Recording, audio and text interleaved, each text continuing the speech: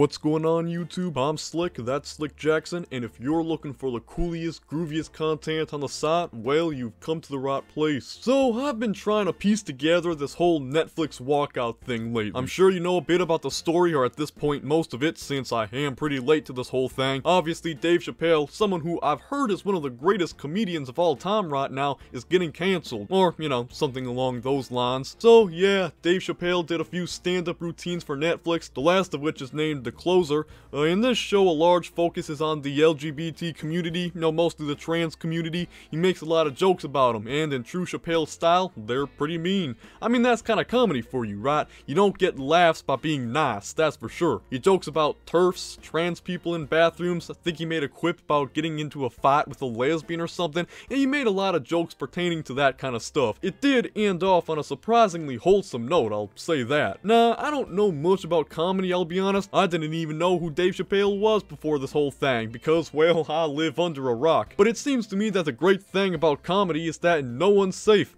Everyone gets made fun of. That's what makes shows like South Park or Spitting Image so good. They don't pull punches. That being said, it looks like Dave's stand-up razzed some sides. A lot of fuss was spun up, but the thing that really set things off was this tweet, made by Terra Field, a Netflix employee. I work at Netflix. Yesterday, we launched another Chappelle special where he attacks the trans community. Oh, he attacks the trans community. I mean, that's kind of comedy for you. No one's safe. The way he joked about you would be no different from how he and other comedians joke about everyone else. All while trying to pit us against other marginalized groups. I don't think he was trying to put marginalized people up against each other. The dude's just trying to get a laugh and collect his paycheck. You're gonna hear a lot of talk about offense. We are not offended. Not offended? I beg to differ, but we'll see to that as the thread goes on. Being trans is actually pretty funny if you're someone who actually knows about the subject matter. How could volunteering for a second puberty not be funny? That isn't what he is doing though. Our existence is funny to him, and we object to his harm, we're offended. And that's what I'd consider you to be. You're getting upset at a guy just doing his job. You're getting upset at a guy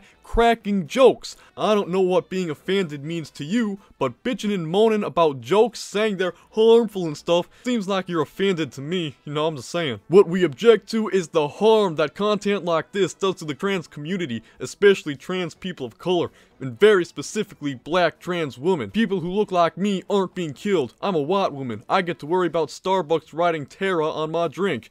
What harm exactly? I sincerely doubt that a comedy special is going to encourage people to massacre trans people in the name of almighty Chappelle. Like seriously, what is this point? And that last line, people who look like me aren't being killed, I'm a white woman, like way to invalidate the fears of trans people all over these United States. From what I've seen, a sizable portion of the trans community are worried that they might fall victim to a hate crime, and here you are, downplaying it. What, you're scared of being a victim of a hate crime? You're white. Yeah, real slick, man. Promoting TERF ideology, which is what we did by giving it a platform yesterday, directly harms trans people. It is not some neutral act. This is not an argument with two sides. It is an argument with trans people who want to be alive and people who don't want us to be. So they say it's not an argument with two sides, and then they proceed to describe how it's an argument with two sides. Like, huh? I don't want to be a broken clock, but again, it's a comedy show. Jokes are made, some offensive, some not. Like, I don't know. It seems to me you're blowing this out of proportion, but oh well, I guess since I like jokes, I'm taking the side of people who don't want trans people alive. Sorry LGBT community, I wanna exterminate you. I like jokes, what can I say? This all gets brushed off as offense though. I mean, you're literally implying that a comedy show will end up getting a trans person killed or something. I think people have a good reason to brush you off. Because if we're just too sensitive, then it is easy to ignore us. I'm surprised I haven't had anyone call me, ironically, hysterical yet today. Well, I'll say it right now, woman, you're hysterical. You're an absolute loony. You belong in the funny farm. So who does this harm? Why don't we go over the list of some people from the US who aren't offended by Dave Chappelle's special? And this is where the thread gets incredibly disturbing because at this point she lists a bunch of trans people who were murdered for some reason.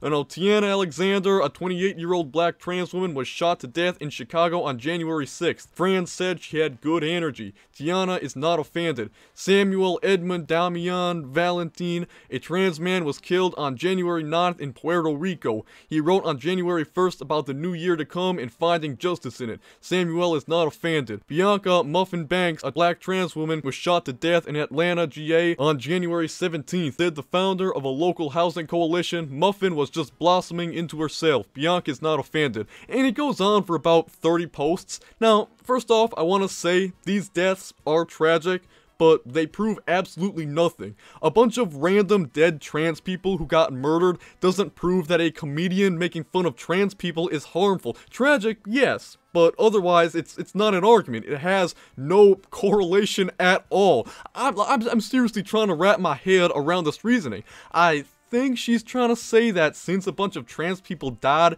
you shouldn't joke about trans people because that's insensitive, which, if that's the case, newsflash, people die. If we can't joke about people who've died or may die, I mean, you really can't joke about anything or anyone at all, you know what I'm saying? More to the point, this is genuinely awful. Like, words can't describe it. Using the deaths of people who can't speak for themselves to fruitlessly prove a point about a TV show, it blows my mind. Here you are complaining about insensitivity while using the deaths of human beings to further your agenda. Is there no shame? 38 members of our community who are dead because our society devalues trans people and trans experiences, 38 people who just wanted to be themselves, 38 people who in many cases struggled with not having the means to transition the way they wanted to, but did it anyway. These are the people that a callous disregard for the lives of trans people by our society have taken from us, and they all deserve better. That these 38 people died for the crime of being themselves, that actually does offend me. Again, bad that these guys got shot, it proves nothing. It certainly doesn't prove that, oh, my jokes are bad. Like, there's the all this talk and you can't make a coherent point. How sad. So yeah, that was a horrible thread. I mean, seriously, using the deaths of people to say that jokes are bad, it, I, I just what? Money, you know, it went viral and it kind of helped to spark all this outrage. Apparently, this person and two others would be fired for trying to attend a director's meeting that they weren't invited to, and another person quit because of it all. Though apparently they were reinstated a day or two after that because the staff didn't feel as though they made it obvious enough that they weren't allowed to attend. I don't know, it goes on. The special has sparked significant controversy inside Netflix. Shortly after it came out, employees started asking pointed questions about whether or not trans people were included in the decision to to air the special and where the company draws a line between commentary and transphobia. Why does it matter if trans people were consulted or not? Like what, are we gonna show it to a trans person, they'll be all like, Bahoo, Bahoo, that's offensive, wah wah and that should determine whether or not Netflix decides to publish it to their platform. Like, give me a break. So yeah, after all this went down, a walkout was organized, scheduled for October 20th. One of the organizers apparently got fired on suspicion of having leaked or contributing to a leak of Netflix data, to which they had this to say, oh, these white people are going around talking to the press and speaking publicly on Twitter, and the only person who gets fired is the black person who was quiet the entire time. That's absurd and just further shows that black trans people are the ones being targeted in this conversation. Like, huh? Did I not just read an article that said that three other people got fired at the time all this was going on? And, I mean, assuming this person did leak the Netflix data, well, I mean, you broke a company policy. What did you really expect? I don't know, after that, two days before the walkout, some demands were made. To keep it brief, they want more resources to go towards content made by and for transgendered slash non-binary individuals, which would be funny to see, as if Netflix doesn't have enough woke shows that they cancel after just one season because no one actually watches woke junk. Revise internal processes on commissioning and releasing potential harmful, sensitive content, including, but not limited to, involving parties who are a part of the subject community and can speak to potential harm or consulting with third-party experts slash vendors. So again, kind of fancy wording for if we get offended by something, you shouldn't publish it, wah wah. But here's something that really stood out to me, right? Recruit trans people, especially BIPOC, for leadership roles in the company, director, vice president, etc., and promote an inclusive environment for them. So what they're essentially demanding is, give us leadership roles, not based on any actual qualification, but literally just because we're a minority. You know, I'm beginning to think there's a motive here. Maybe it's less about protesting harm and transphobia and just grifting their way to the top. But I don't know, maybe that's just me. Eliminate references slash imagery of transphobic titles or talent inside of the workplace, including but not limited to murals, posted, room names, swag, swag? Is that a typo? Is that, is that like an abbreviation or something? Like swag? What? But like, what kind of posters or room names could Netflix have inside of them that are just like blatantly transphobic? I don't know, sounds like to me that these guys are control freaks, quite sad in it. Acknowledge the harm and Netflix's responsibility for this harm from transphobic content and in particular harm to the black trans community. I'm assuming this is in reference to Chappelle's special, and I'll say it again, what harm? What exactly do you want Netflix to take responsibility for? We are employees, but we are members too. We believe that this company can and must do better in our quest to entertain the world. Well, you're entertaining me, I'll say that.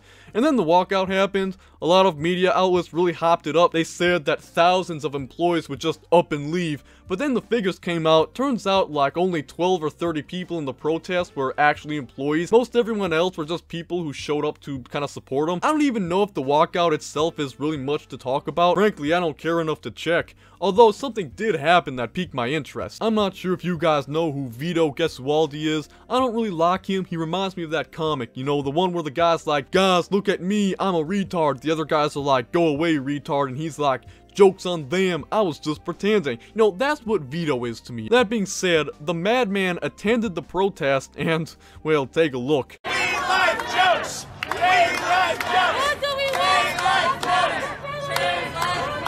Honestly, what do I even need to say? Much as I don't like him, I gotta give the guy credit. This was baller as hell. It kinda took a turn when a protester ripped the sign out of his hands and, well, you know the story.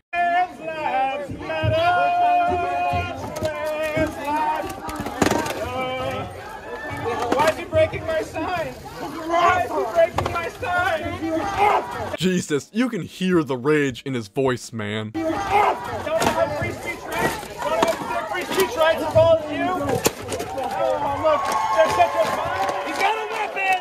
He's got a weapon! He's got a weapon! What a fink. The guy breaks the sign, gives it back to him, and tries to accuse him of having a weapon. The dude even like helps raise it into the air. Like Jesus, dude. It's also pretty dangerous, right? Like you could make people attending the event scared for their very lives. Like imagine you're at a large gathering and someone shouts, he's got a weapon. You'd probably be a little scared, right? It could cause panic among the crowd. But I guess that doesn't matter because he has a different opinion than you. Like, seriously, this guy's a fink. Then you have this absolute twig trying to push him back. You know, I bet if Vito here really wanted to, he could have just pushed him aside by just walking into her. The jokes are funny, people.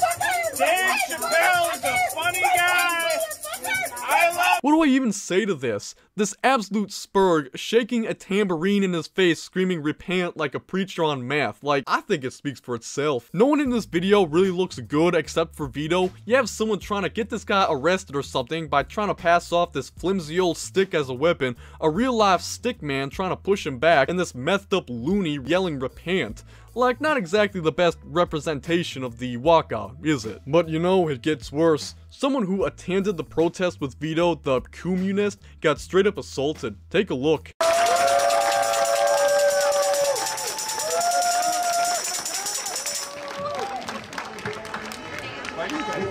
Oh, this guy's grabbing my stuff. Oh no, he's grabbing my stuff. This guy's attacking me. This guy's attacking me.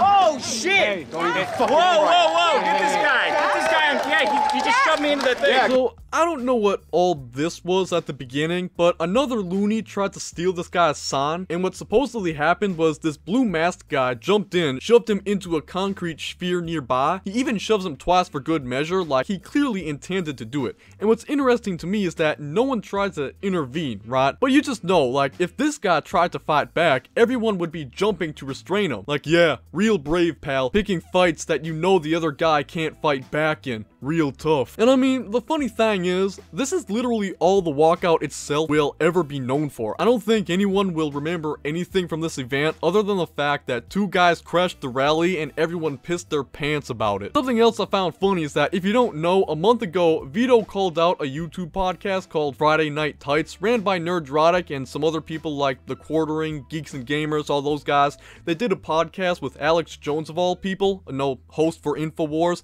and what Vito did was call out this podcast in a tweet. He says, The Nerdrotics Alex Jones stream is just him screaming about the vaccine doesn't work while these morons laugh and clap. Funny, I could have sworn this type of content was against the TOS. I guess Team YouTube changed their mind. And the intention here, although not clearly stated, is pretty obvious. He's trying to poke at YouTube to get this video taken down, which, you know, is pretty bad for a variety of reasons. But yeah, and then recently he shows up on an interview hosted by InfoWars.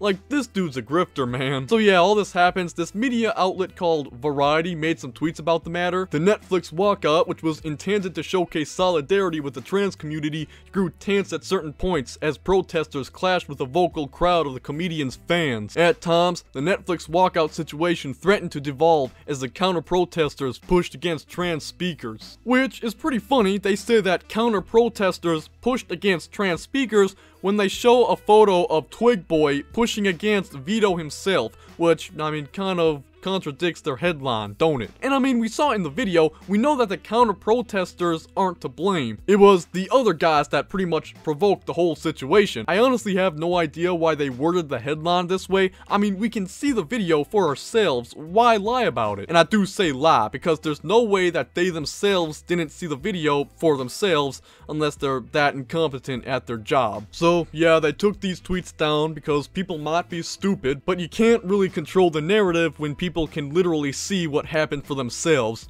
No, who knew? Apparently, one of the organizers of the event had old tweets resurface of them saying not so flattering stuff. I'm not gonna read them out, but but you can read them for yourself. You know, at some point, they actually released an apology for these tweets. Let's read it. At the height of my math addiction, what the fuck? What? Alright, I'm not gonna read any more of this. I think that I don't know, I think I'll leave it at that. But yeah, take what you want from that. One of the organizers for an event protesting bigotry had to make an apology for saying bigoted things. And with all this going on, Mr. Chappelle pretty much ignored it all, but he did briefly address it in one of his, you know, stand-up routines. To the transgender community, I am more than willing to give you an audience, but you will not summon me. I am not bending to anybody's demands. You know, you really love to see it. When people get up in arms about someone, the person in question usually bows down to save face. It's refreshing to see a celebrity with a spawn, you know what I'm saying? I saw a lot of people mention the movie Cuties throughout this whole fiasco. Cuties obviously being a movie where 13, 14 year olds, you know, teenagers were being sexualized a lot of people kind of wondered, well, where was the outrage by the Netflix employees then? I mean, let's look about this reasonably. A movie where kids as young as 13 are sexualized versus a comedian making jokes. Which one is worth getting angrier over? So it's like, teenagers will get sexualized, Netflix will broadcast it to the whole wide world, the employees, oh yeah, they're okay with that, they'll sit idly by. But a comedian tells jokes that you don't like, that's the breaking point. That's the straw that broke the camel's back, like, come on. So yeah, all in all, I think the walkout was kinda dumb. Just a bunch of people bitching and moaning over jokes. They'd like you to think it's something more, that there's meaning to it, that they're protecting trans people or something. But all it is is bitching and moaning. Funny thing is, I think the walkout had the opposite effect of what they were going for. They were looking to, I don't know, maybe not cancel Chappelle outright, but they still tried to drag him through the mud, you know? And honestly, I can say it backfired. I mean, I don't know comedy. I didn't even know who Dave was before this whole thing. I live under a rock, you know, like I said before. But this whole situation kicks up, and I investigated, I watched the special, I had a good time. I personally enjoyed the closer.